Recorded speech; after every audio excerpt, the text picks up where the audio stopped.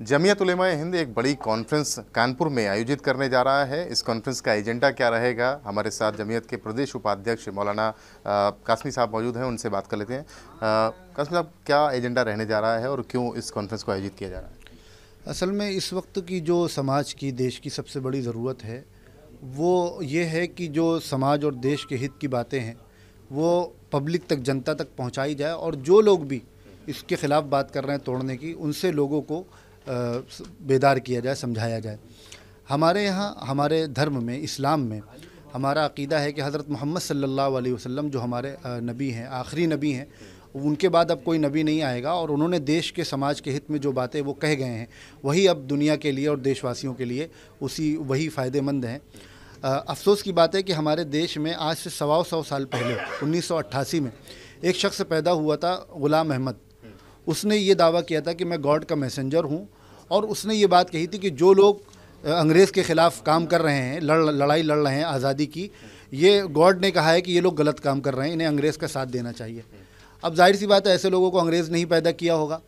वो उसने देश में, देश का नुकसान किया उस ज़माने में। उसके मानने वाले कुछ लोग हमारे शहर में, समाज में मौजूद हैं, जो आज भी इस तरह की बात कर रहे हैं, जो समाज के हित में नुकसान दें।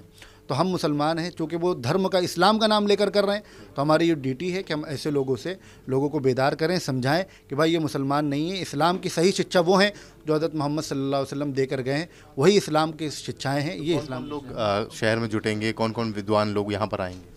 ये इस छः नवंबर को आने वाली छः नवंबर इतवार को रात आठ बजे से परेड ग्राउंड में कॉन्फ्रेंस हो रही है जिसमें जो हमारी सबसे बड़ी संस्था है इंस्टीट्यूट है दारुल देवबंद वहाँ के जो मोहतमिम हैं जो मेन होते हैं वाइस चांसलर मुफ्ती अबुल कासिम नोमानी, वो आ रहे हैं चीफ़ गेस्ट हैं।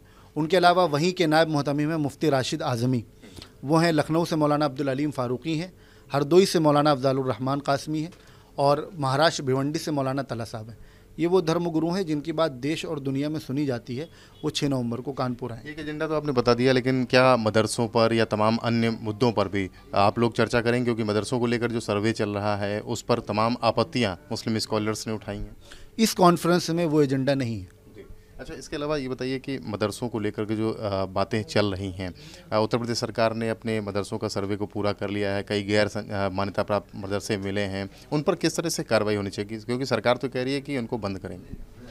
नहीं, बंद तो नहीं करेंगे ना बंद कर पाएँगे।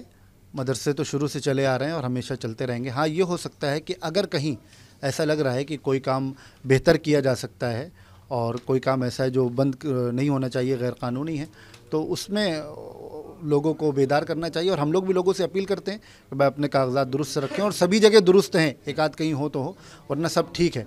तो सर्वे अगर कर रहे हैं तो हमें इसमें क्या आपत्ति हो सकती है? लेकिन नीयत ठीक हो, अगर आप वाकई चाहते हैं ऐसा कोई माहौल क्रिएट ना करें जो बिला वजह लोगों में डर पैदा करें। भारतीय जनता पार्टी पसमानदा मुस्लिमों पर काम करने की बात कह रही है, पसमानदा मुस्लिमों को न्याय दिलाने की बात कह रही है। आप लोग इसे किस तरह से देखते हैं? क्योंकि बीएसपी भी लगातार अब मुस्लिम्स को टारगेट कर रही है और तमाम मुस्लिम नेता बीएसपी की तरफ़ रुख भी कर रहे हैं। समाजवादी पार्टी पहले से ही मुस्लिमों की हितैषी अपने आप को मानती आई है। बीजेपी की इस बात को किस तरह से लेते हम मानते हैं कि सरकारों का काम सारे देशवासियों के हित में काम करना होता है। उनको किसी धर्म विशेष का नाम लेकर ये बात नहीं कहनी चाहिए। हमें लगता है कि ये अपना एक पॉलिटिकल एजेंडा होता है। उन्हें ये बात करनी चाहिए कि भाई देश में जो लोग भी पिछड़े हैं, जो भी गरीब हैं, शिक्षित नहीं हैं, हम उनके लिए काम करेंगे। तो ख़ास किसी दलितों के साथ, मुसलमानों के साथ नाम लेके हम नहीं समझते कि ये मुनासिब है। केरल हाईकोर्ट में खुला का एक मामला निकल करके सामने आया है। आ, उसमें ये ज़रूरी नहीं माना गया है कि पति की सहमति भी होनी चाहिए क्योंकि पत्नी तलाक को मांगती है। आप लोग क्या ऐसे मानते हैं? किस तरह से होना चाहिए? हम तो ये मानते हैं कि पति पत्नी ये ज़िंदगी भर के लिए होते हैं। तो कोई ऐसी बात हम लोग को कोई ऐसा डिसीज़न नहीं लेना चाहिए जिससे हम बिलावजह उनमें गैप पैदा करें। हमारी कोशिश ये होना चाहिए कि हम किसी भी तरह उनको जोड़ने की कोशिश करें।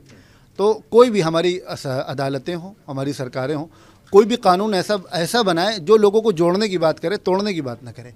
बस इतना हमारा। तो कॉन्फ्रेंस कानपुर में आयोजित की जाएगी। इसमें तमाम स्कॉलर जुटेंगे और एजेंडों पर बात होगी। कानपुर से कैमरामैन पंकज निगम के साथ रतीश त्रिवेदी एबीपी गंगा।